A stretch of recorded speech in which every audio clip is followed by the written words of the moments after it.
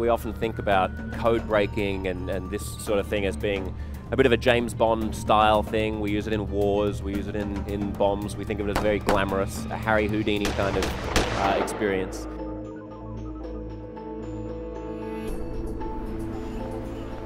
In reality, of course, in the world today, in a world as digital and interconnected as, as ours is, it's now all around us. It's just interwoven into the fabric of our lives.